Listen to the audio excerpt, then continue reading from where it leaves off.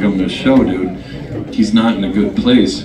Uh, but he bothered him a couple times and he goes, Scooter really wants to meet you, so maybe come out to the show. And he came out. So I'm standing on the fucking middle of the stage.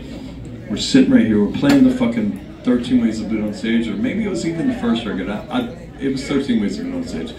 So this motherfucker walks up on the side of the stage and he's creeping up. He's got a fisherman uh, jacket on with a bunch of hooks and shit in it, like lures. He's got a hat on and a beard. I go, Layne Staley's a fucking fisherman. Holy shit, this is amazing. But he's here.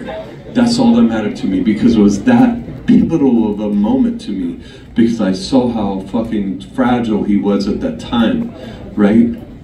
You know what I'm saying? There was a moment where you just go, like, I go, Jerry was right. Maybe I didn't want to see him like that.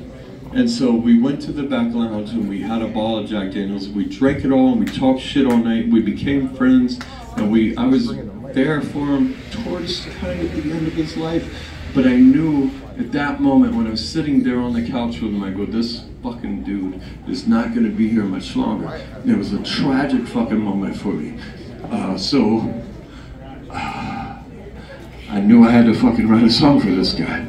So it was, it, it, not only that, Kurt Cobain was a big experience for me too. He's a major influence. But I didn't get to meet him. I didn't get to meet him. So I think the Layne Staley thing might fall a little harder on this. This next song is called The Fucking Day Seattle Died.